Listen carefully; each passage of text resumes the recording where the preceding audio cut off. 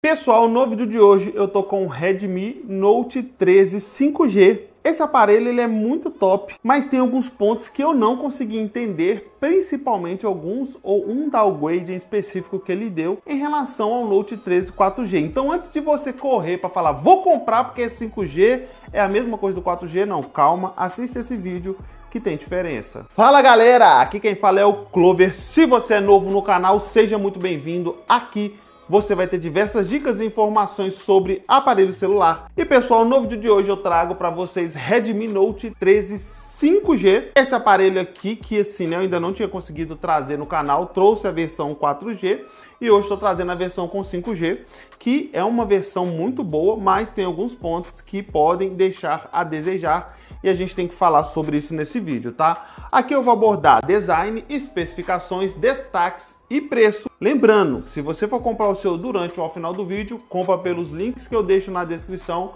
Você me apoia a continuar tá trazendo esse tipo de conteúdo. Mas antes de correr comprar, confere esse vídeo porque vale a pena, tem conteúdo informativo que pode mudar ou às vezes você ter um ponto de vista diferente em relação ao aparelho. Então vem comigo e vamos começar a falar de design que nisso aqui ele tá muito show de bola. Bom, pessoal, então vamos conferir aqui o Redmi Note 13 5G. Vou colocar a caixa dele de lado aqui, vou mostrar para vocês bem destacado o design do aparelho, tá? Esse aqui é um preto, ele tem das cores azul e branco também, tá? Tá muito bonito o aparelho, tá? A lateral eu achei bem bonita, tá bem chapadinha aqui, muito bem acabada. E logo aqui em cima, ele tem aqui, ó, sua entrada de fone de ouvido P2, aqui o infravermelho, microfone de captação de áudio. Se vocês repararem aqui em cima já está faltando alguma coisa que no 4G tem, que é o som estéreo. Isso para mim foi algo que deixou a desejar. Poderia ter vindo com som estéreo. O 4G vem com som estéreo, 5G deveria manter, mas não.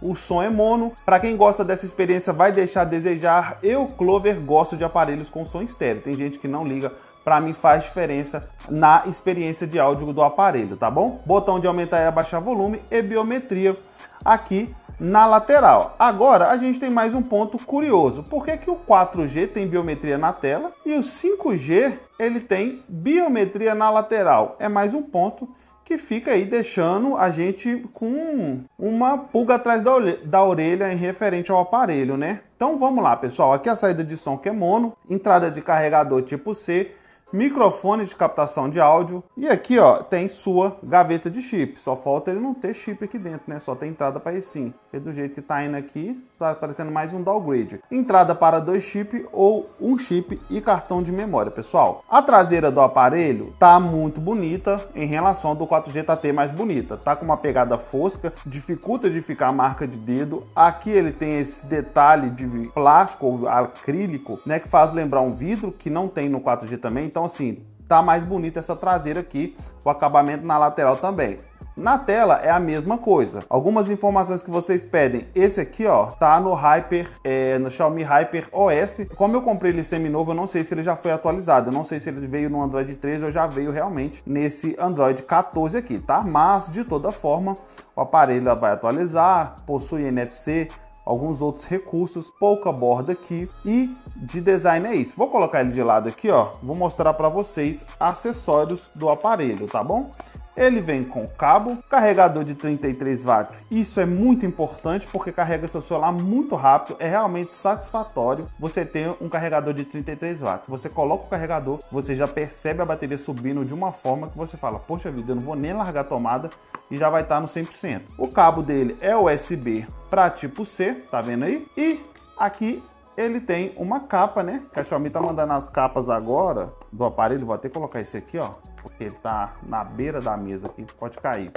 E ele tem aqui, ó, uma capa que é preta. Em relação a acessórios, tá completo, tá? É, falta me mesmo fone de ouvido, mas isso a gente já não espera mais das marcas aí estarem mandando. Então é isso, vamos falar agora de tela do Redmi Note 13 5G. Bom pessoal, vamos lá, relação de tela do Redmi Note 13 5G, tela de 6.67 polegadas, resolução Full HD+, material AMOLED, 120 Hz de taxa de atualização e Gorilla Glass 5. Aqui a gente tem um dos melhores, uma das melhores especificações de tela que uma marca pode oferecer para o usuário. Material AMOLED é muito bom, poderia ter vindo com a biometria na tela, não sei por que não veio. Resolução Full HD Plus, um tamanho muito bom. 120 Hz de taxa de atualização para você ter um aparelho rápido e fluido e ainda Gorilla Glass para proteger contra riscos e poeira, beleza? Material muito bom, não tenho o que falar aqui, é só elogio. Mesmo com o Gorilla Glass, eu sempre recomendo cap película. Eu deixo para vocês o link na descrição e lá na Amazon você consegue já ter 10 vezes e você pode aproveitar e já incluir cap película para você já ficar com o desencargo de consciência do seu aparelho estar tá bem protegido. Mas aqui o aparelho está super aprovado sensacional. Parabéns, Xiaomi, nesse ponto aqui. Bom, pessoal, vamos lá. Continuando o nosso vídeo, relação de câmeras do aparelho. Uma câmera principal de 108 megapixels, ultra wide de 8, macro de 2 e selfie de 16 megapixels. Ele filma em Full HD até 30 fps com a câmera de selfie e Full HD até 30 fps com câmera traseira, câmera principal dele. Em relação a fotos, pessoal, o aparelho traz boas fotos dá para você registrar bons momentos. Eu gostei das fotos que eu consegui registrar para vocês. Então, nesse quesito de câmeras, ele está aprovado. Vai estar tá passando as fotos, vocês podem analisar. Depois do vídeo, vocês podem lá na descrição do vídeo que eu deixo um link com as fotos para vocês poderem baixar e analisar uma a uma com calma. Então, nesse quesito aí, vocês vão ter tempo para analisar relação de vídeo fica devendo. Ele deveria ou poderia vir no mínimo com uma filmagem Full HD 60 fps. Assim já daria para quem comprar, às vezes quer fazer até um trabalho de forma digital, ter uma filmagem melhor. 30 fps hoje em dia é ruim para você estar tá fazendo um conteúdo em qualquer ocasião. Então nesse ponto de filmagem deixou a desejar, em fotos está bem completinho o aparelho está aprovado no quesito de fotos aí. Bom, galera, vamos lá. Relação de memória, memória RAM e processador, tá? Ele tem uma versão de 128 GB com 6 de RAM, que é a que eu estou utilizando, e ele também tem uma versão de 256 GB com 8 de RAM e o processador da MediaTek da Dimensity 6080. É um processador do, da nova geração da MediaTek. Essas linhas agora da Dimensity, tá? Antes era L, agora é da Dimensity. Vamos lá, pessoal. Se ele tiver outras versões de memória aí, me desculpem. Provavelmente tenha, mas eu não vou conseguir trazer tudo para vocês que a Xiaomi traz muitas versões. Isso faz uma confusão na cabeça da gente que gera conteúdo, na, na mente de quem vende celular. É muitas versões. Deve ter versões de 8 com 128 GB, mas enfim. Em relação ao processamento, o aparelho está completo, entrega um bom desempenho, é um aparelho sim para o dia a dia. É um aparelho que vai suportar você fazer uma coisa um pouco além ali, que não seja algo muito pesado. Vai dar para você também, se você quer um aparelho para jogar, vai dar para você estar tá brincando, desde que não sejam jogos muito pesados, que aqui a gente tem que saber também é, ajustar a nossa expectativa. É um aparelho ainda de entrada ali somente com 5G, que difere ele do outro que é o 4G, tá? Mas de toda forma, o aparelho está aprovado, fiz alguns testes de jogos, ele rodou super tranquilo, fluiu assim muito bom muito bem. É um processador que tem 6 nanômetros, então entrega uma performance melhor também. E de toda forma, nesse quesito aqui, para mim, o aparelho também está muito aprovado. Relação de bateria, pessoal, ele tem 5.000 mAh de bateria, tá? A gente faz alguns testes aqui no canal que são padrões, que é uma hora de tela ligada, uma hora de filmagem Full HD 30 fps, já que ele não suporta 60, e 10 minutos de jogos, tá? E ele fez um consumo de 25% é um consumo muito bom dentro da média. Se ele fizesse filmagem em Full HD 60, o consumo seria maior. Então ele vai entregar um bom consumo, mas vai ficar devendo na questão de filmagem, como eu já passei nesse ponto para vocês, tá bom? Relação de destaques do aparelho e preço, tá, pessoal?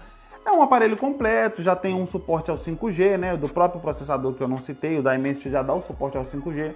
Ele tem NFC também para você fazer pagamento por aproximação, mas ele ficou deixando a desejar em alguns pontos que assim a gente não consegue entender. Som estéreo, ele ficou devendo, veio com som mono.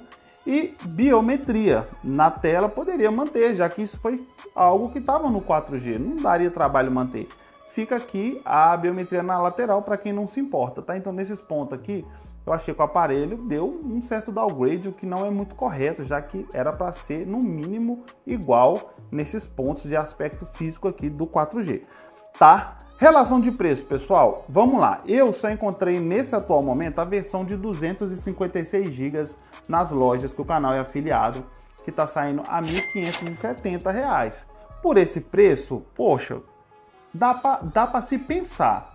1570 você vai pegar um aparelho de 256 GB com 8 de RAM, NFC 5G, Tem opções? Tem, talvez um A25 5G, que tem um som estéreo, né, que tem uma biometria na tela. Se eu não me engano, a dele também é na tela, não sei, eu não vou lembrar o certo. Não, menti, minto para vocês, a dele também é na lateral, mas o som é estéreo. Então já dá uma experiência um pouco melhor, porém tem processador Exynos de 1280. Por outro lado, tem um preço um pouco menor, que é R$ 1.400. Então fica aí essa análise, essa reflexão para vocês aí. Tem vídeo do A25 no canal, só vocês assistirem também e vocês fazem uma análise. Se vocês quiserem, eu até trago para vocês um comparativo dos dois aí para a gente tirar isso mais a limpo, tá bom? Mas de toda forma é isso, pessoal. Tá aprovado. Se você conseguir uma pechincha um pouco melhor, eu vou buscar preços melhores para vocês também aí. Vocês podem estar tá adquirindo um aparelho sem medo, tá bom?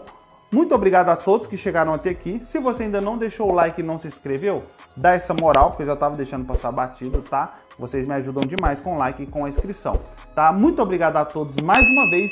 E não se esqueçam, eu nunca vou desistir, independente de qualquer coisa, eu sempre vou estar trazendo conteúdo para vocês. Até a próxima, valeu e fui ao Celabipano.